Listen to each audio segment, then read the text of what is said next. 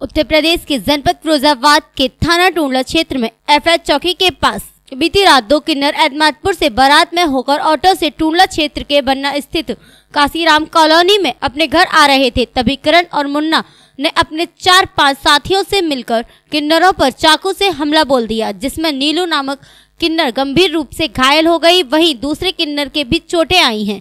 जहाँ घटना को अंजाम देने के बाद सभी आरोपी मौके से फरार हो गए। बाद में दोनों किन्नर लहूलुहान हालत में थाना टूंडला पहुँची जहाँ पुलिस ने दोनों घायलों का डॉक्टरी परीक्षण कराया है। वहीं किन्नरों ने घटना की लिखित शिकायत थाना टूंडला में दी है। पुलिस ने तहरीर के मिलने के बाद आरोपियों की तलाश शुरू कर दी है। फिरोजाबाद से विशाल वर्मा की report S K H news किन्नर।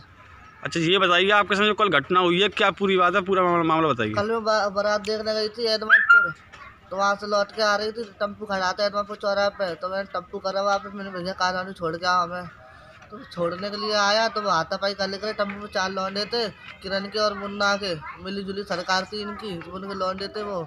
और हाथापाई कर रहे थे हम एपेज के पुल पे उतर गए थे ऊपर तो वहीं पर उन्होंने डाल लिया ब्लेड और चप्पुओं से वार किया हम पे। तो वही की हालत हो गई। इसकी तैयारी आपने थाने में दी कल? हाँ दी तो थी।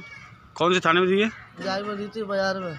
टूंडला वाले में? हाँ टूले थाले में ये आपके साथ कल घटना हुई है क्या पूरा मामला है? पूरा मामला ये है कि मैं बारात देख के आ रही थी तो रास्ते में हमें टेंपू में चार पाँच लड़कों ने मुन्ना और किरण के साथ मिले हुए थे वो लड़का डंडे चक्कू से वारदात हम लोगों के ऊपर करी जान से मारने की कोशिश करी।